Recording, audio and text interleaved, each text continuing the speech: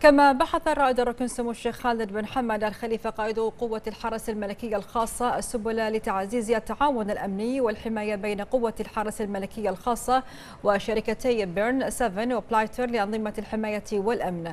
جاء ذلك خلال اللقاء الذي جمع بين سموه وبين الخبير العالمي في أنظمة الحماية جي بوست ومالك شركة بيرن 7 وسيد نيل هارفي المدير الإقليمي لشركة بلايتر لأنظمة الحماية والأمن.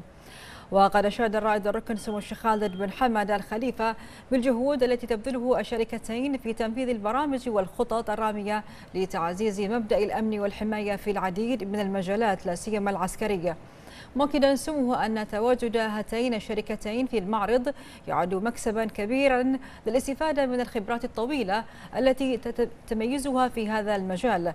مبينا سموه أن معرض بايدك يمنح الجميع فرصة للتعرف على التطورات الحديثة في وسائل الاتصال والأمن والسلامة العسكرية والذي يخدم تشكيل منظومات دفاعية قوية قادرة على أداء واجبها بكل إتقان.